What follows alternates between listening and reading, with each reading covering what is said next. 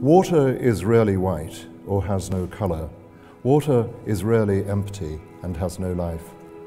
Water in Scotland flows in small burns that are never silent, gives voices to notes you can hear if you lie heart down upon this moist and lovely earth.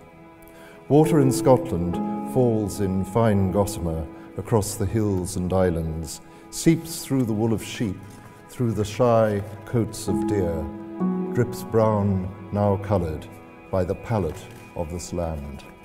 Thank you. Today we're in London launching the Generations Mortlach 75 year old, a unique whisky bottled by Gordon MacPhail which has transcended the four generations of the Urquhart family. So the cask was filled by John Urquhart in November 1939 and has been nurtured and cared for by his, his son, his grandchildren, and ultimately bottled by his great grandchildren after 75 years. Ladies and gentlemen, my name is Neil Urquhart, Director of Gordon MacPhail, and I'm joined today by members of the third and fourth generation of the Urquhart family. My father Ian, my aunt Rosemary and her daughter Susie, my uncle Michael, and my cousins Richard and Stuart.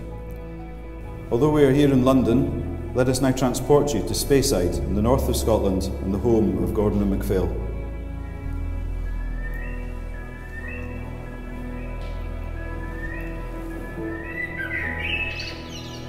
I, am a great whiskey lover, but I, don't think you even have to be a, a whiskey fan to appreciate an event like this.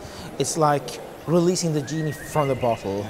It's, uh, it's an antique that's alive. You can sit on an old chair, you can look at an old painting, but here when you pop the cork of the generation from 1939, you, you can smell, you can taste uh, a different era, and it's a, quite a fantastic whiskey. We're honoured to be joined by the internationally renowned and best-selling Scottish author Alexander McCall Smith. And our first speaker is a man described by the Times as Scotland's leading authority on whisky, author of no fewer than 15 books on the subject. Ladies and gentlemen, I give you Charles MacLean.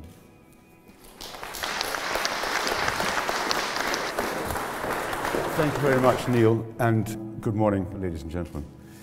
First, let me say a little bit more about Gordon and MacPhail, and in particular the generations of the Urquhart family who have, uh, have owned the business since 1915. To put this historic event in context, if you like. The firm was founded in 1895, and one of the partner's first employees was John Urquhart. He was joined by his son, George, in 1933 when the latter was 14 years old. Together, they developed close relationships with many Speyside distilleries and a profound knowledge of the spirits made at each, placing orders for new make spirit, selecting and filling their own casks, and maturing the whisky for longer than was usual at the time. The thing that kind of amazes me about that is my grandfather would have been 20 years old when, when it was filled in 1939. To our knowledge, there's been no other whisky ever matured for 75 years in one cask, which makes it a very rare product. And it's all about trying to get the right cask that can mature whisky for that length of time. In 1939, obviously in November, we, the, the world was a much different place. We were on the, on the cusp of, a, of, the Second World War, and distilleries would have been a much, a much different um, uh, place than they are today. A distillery would have been run as a farm distillery. So the distillery would have had farm operators, the distillery would have malted its own barley, it would have had its own coopers.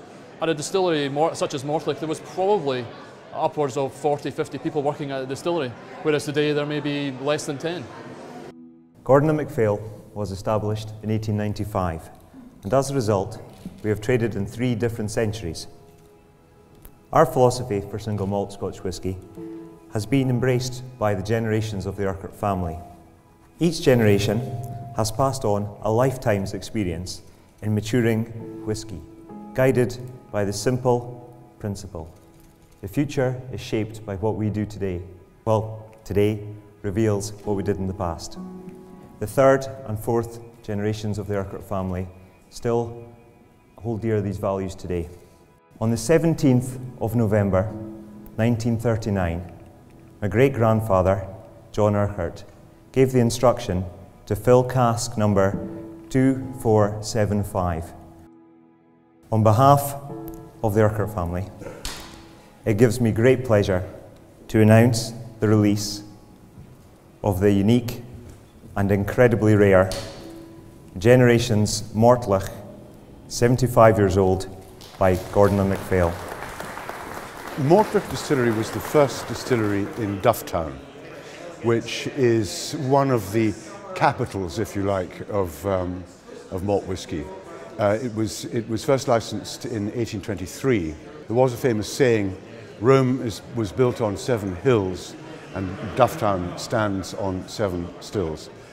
It became very, very popular as a blending malt. It's a very notoriously heavy style of whisky. Um, it's known locally as the Beast of Dufftown. Very rich, heavy, meaty. The, the, the new make spirit character is described as meaty. It smells like a roasting tin.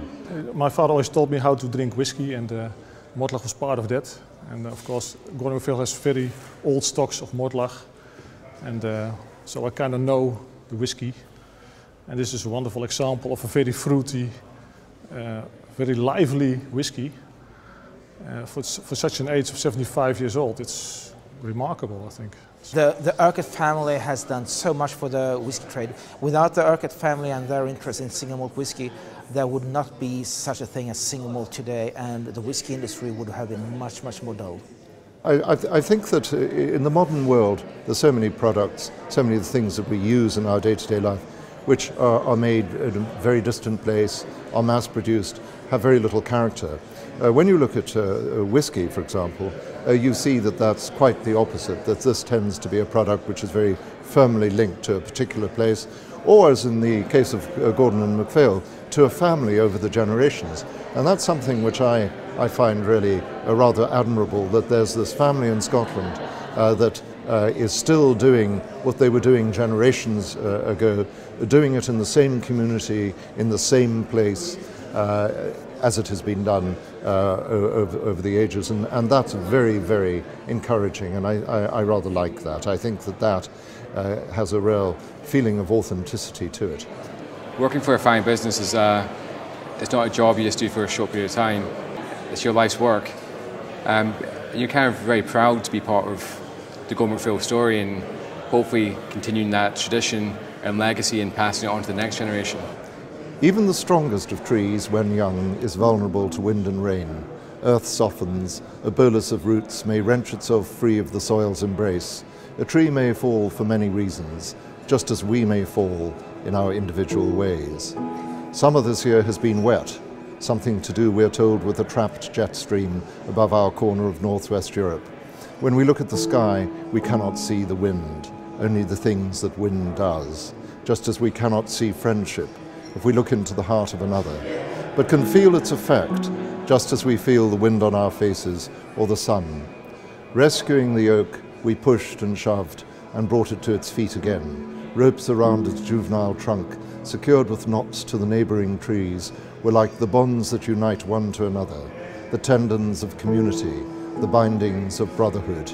A tree may be tied in place, upright against the wind, with cord that is the same as that which ties us to our place in the world, that long ago secured our people to the place they inhabited, to that place they loved enough to name.